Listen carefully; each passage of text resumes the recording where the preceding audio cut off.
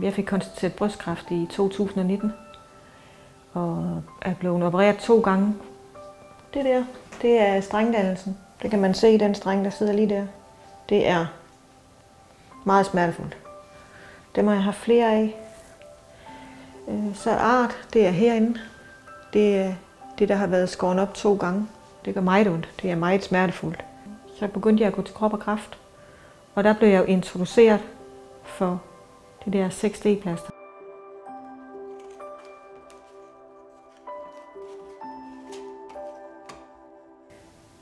Og der sætter jeg plasteret på, og så går jeg flere gange om dagen og trækker i det, for at prøve at trække den der fordybning, som man kan se, hvis jeg tager armen ned, der er der sådan en fordybning herind, at den kan blive trukket lidt ud.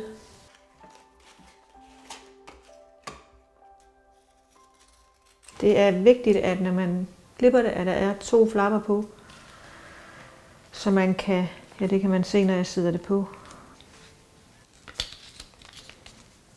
Så der er det faktisk bare hen over der. Så trækker jeg lige sådan stille og roligt i det der.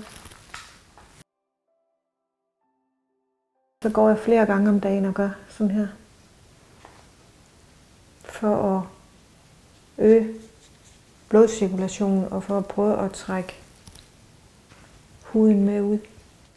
Det er vigtigt, at man trykker det godt fast, så man ikke trækker det af, når man trækker i flapperne her. Men jeg går sådan her og gør sådan her.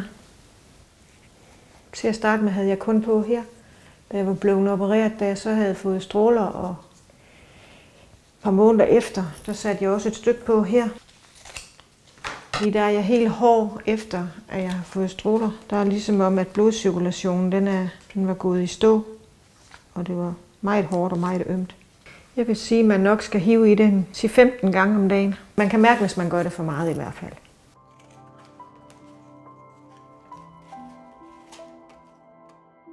Når jeg sidder midt på, så sidder det cirka i en uge, kan det godt sidde. Og det er jo både med vand, og man øh, går i bad, og med træning og med alting. Men det er det der med, at man skal bare huske at trykke det godt fast.